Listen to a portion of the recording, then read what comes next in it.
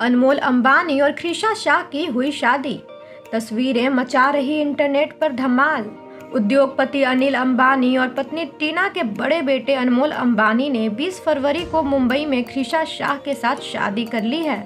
दोनों की शादी को लेकर कई दिनों से चर्चा चल रही थी और अब दोनों के रास्ते एक हो चुके हैं।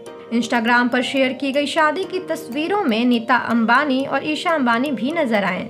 शादी कथित तौर पर अनिल अंबानी के Cuffe Parade home Sea Wind में हुई, जिसमें कई हस्तियों ने भाग लिया। मुंबई में हुई इस आलिशान शादी में कई बड़ी हस्तियों ने शिरकत की थी। इनमें से एक बच्चन परिवार भी था, जिसमें अमिताभ बच्चन क्रीम कलर की शेरवानी और पगड़ी पहने नज़र आए।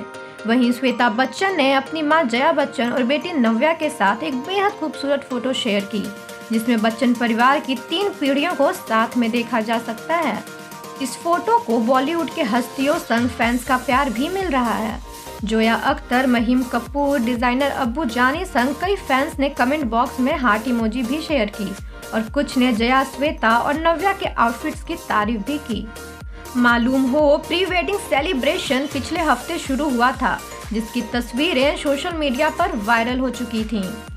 वहीं अरबपति मुकेश अंबानी की पत्नी नीता अंबानी ने अपने भतीजे अनमोल अंबानी की शादी में शाही जातीय पोशाक में शानदार उपस्थिति दर्ज कराई, जहाँ इस मौके के लिए टीना अंबानी ने रेड और ब्लैक कलर का लहंगा पहना। वहीं नीता अंबानी ने गुलाबी रंग का आउटफिट चुना। बताते चले, अनमोल और क्रिशा अपने परिवारों के माध्यम से मिले थे और फिर एक दूसरे के साथ काफ़ी समय बिताने के बाद उन्होंने शादी का फैसला लिया। उनके करीबी दोस्त ने बताया कि अनमोल क्रिशा के सामाजिक सक्रियता से काफ़ी आकर्षित थे वहीं मीडिया रिपोर्ट्स की बात करें तो अनमोल अंबानी ने दिसंबर 2021 में क्रिशा शाह से करीबी दोस्तों और परिवार के सदस्यों के बीच सगाई की थी। आपका क्या ख्याल है इस शादी को लेकर? हमें कमेंट सेक्शन में ज़रूर बताएँ। आज के लिए बस इतना ही। मनोरंजन की दुनिया के बाकी खबरों को जानने के लिए देखते रहें देशिक न्यूज़।